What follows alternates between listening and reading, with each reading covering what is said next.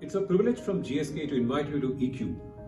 eCube is a campus initiative, as you may know, from GSK, which has been running in the past couple of years.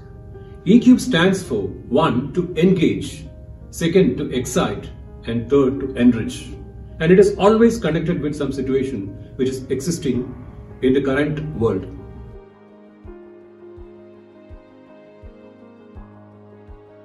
We are talking about the impact of COVID in the pharmaceutical industry. What COVID has done?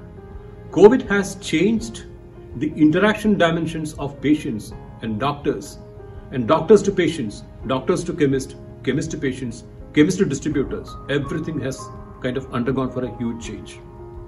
As a company, GSK firmly believes that why the company is existing is only because of patients. We believe patient focus is a core value for us. So if you want to really benefit the patient, all your strategies will have to undergo a change. And that is what we are trying to capture through this very, very important project. So we talk about the change in dimensions of interactions of the different stakeholders in the pharmaceutical industry. Our job is to actually ensure that like we understand the new changes. We call it as insights. What is insight? Insight is nothing but a very deep understanding of a situation on which if you act upon, things can change for better.